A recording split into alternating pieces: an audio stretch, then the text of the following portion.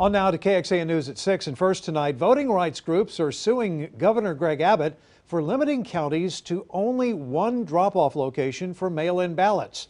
Travis County continues to see record demand for mail in ballots with more than 72,000 requests.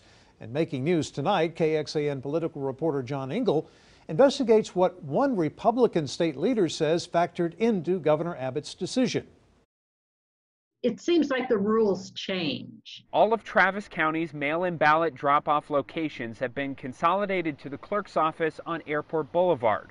Governor Greg Abbott said the decision was made to preserve election integrity, a concern the Travis County clerk says lacks evidence. Nothing. There is there's no connection to the the talk, the noise about somehow that dropping off your ballot uh, was going to be particularly fraudulent.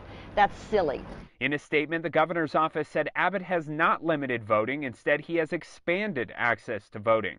Before the governor's executive order, Texans who wanted to vote by mail could either mail their ballot or submit it in person on election day only.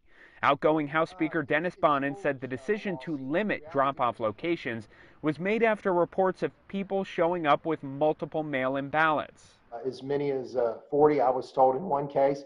Um, and so the problem is, is when that individual was told he could only turn in one ballot that matched him, um, he threw those ballots on the ground and wandered away. Are you able to direct me to what county that was? I was told that was in Bexar County. Bexar County only had one drop off location to begin with and wasn't impacted by the governor's proclamation. Election officials are required to reject multiple ballots delivered by one person.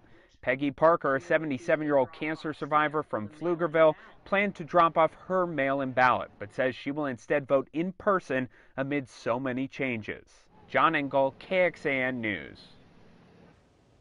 And remember, you are only able to drop off your own mail in ballot to the county clerk.